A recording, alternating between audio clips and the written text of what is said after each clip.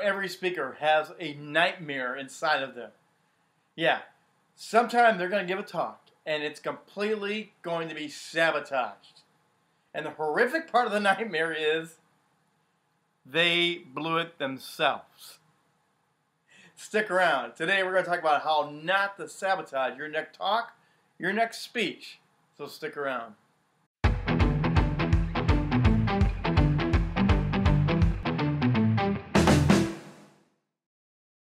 Hey, it's a trigger, Rich Bontrager. Welcome back to another Leaders and Communicators. I'm sharing from my 25 years as a broadcaster, as a pastor, as a motivational speaker, and as a leader to help you defy the odds in whatever arena you are in to be a better leader and communicator. Because I believe leadership and communication are forever connected together. And my goal is to help equip you and help you go better and better and defy the odds and achieve your goals. Now, today we're going to be talking about one of those weird things of public speaking. We all have those nightmares. We all have those things that somehow our speech, our talk just it tanks. It doesn't connect. People don't relate to it, and we feel like just nothing happened out of it. We've all had it happen. I've had it happen. And in fact, one of the worst cases go back to my early days of giving a public speak. All right, this goes all the way back to when I was working with youth ministries, and I'm at a summer camp. And at this summer camp, I was asked to give a biblical talk on sex. So I sat down on the stage and I began to give this talk. And as I do it, I realized my volunteer staff was beginning to laugh and whisper in the background. Now, what I thought was I had said something that was maybe a little bit close off color or a little bit askew and kind of humorous, so I just kept going with my talk and I'm going and I'm going. And by the end of the talk, my number one right hand man comes walk up to me afterwards and says, Rich, did you know your shorts had a rip all the way down the middle and all we saw were your BVDs the entire talk? Now, I don't know what the kids heard that day, or if they heard anything, or they were in shock and awe that the pastor was showing his BVDs but it definitely sabotaged my talk. I like the who to never have to go through those experiences. But often we do things that we are not even aware of that we can control to never let it happen to us. The first thing is, honestly, check your clothes before you go on stage. And I'm sure you've heard this before, but I have talked to so many people that have got done with the presentation, and especially for the men, their fly was open. And they get done and they realize no wonder the crowd was not quite into their speech. Really, take the time. Check your clothes, check your tie. Ladies, check your blouses. Many ladies have gone on the stage and their skirts are showing something from underneath that shouldn't have ever been shown on stage or is just mangled and twisted a little bit.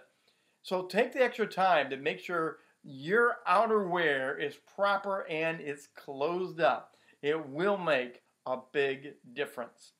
Now, the second one I want to point out is check your word pronunciations. Nothing is worse than being in the middle of a presentation and you stumble over a word or you say it confidently and it's totally wrong. As a broadcaster, I've always used a phonetic way of pronouncing names because they are now international athletes playing in sports and I don't know how to pronounce them. So I will phonetically say it out after listening to it many, many times. There are audio helps out there to help you get it phonetically right. There is no perfect phonetic code. Write it down the way that you hear it so you can say it the right way, the way you talk and speak.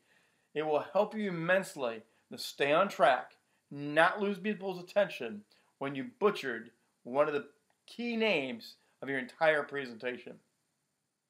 Finally, more and more people are using creative slides and elements, and, and, they're using PowerPoints. I've done this myself. I put my PowerPoints or my presentation slides up, and there was something wrong in the slide. There was a word. There was something a little bit off color, off shade that made it just humorous where I didn't intend to have it be humorous. I was once given another talk on sex one time, and I had two cars in a car wreck talking about the wreck of marriage. Well, the two cars were kind of angled in a funny, awkward way, and afterwards I was told It was the best illustration to illustrate sexual wreckage, but it was never what I intended to have be intended with that slide. Check your slides. Have somebody else go through them, proofread them, and look for those weird oddities to make sure you never have that moment happen. Because what you will get is people in the audience will start looking around. They will begin to scratch their head, and it will take you from being the keynote speaker, the person that knows what they're talking about, it will drop you down to a lesser value. And what you have to say may be great, but the distractions are too much. They keep them involved and focused with you, and you will lose them in the end. So, have you ever had a big distraction? You have a great story, okay, a horrible story, of a distraction that happened to you, and you realize after the fact you could have controlled it. You could have changed it. Was it a slide? Was it a dress thing? Was it a musical number you slid in there to add some oomph into it? Let me know what has worked for you. What are the distractions that have popped up? And how have you corrected them to make sure it never, ever happens again? Thanks for listening today. Until next time, God bless. Have a great week. I'm the Trigger, Rich Bontrager, and we'll see you next time.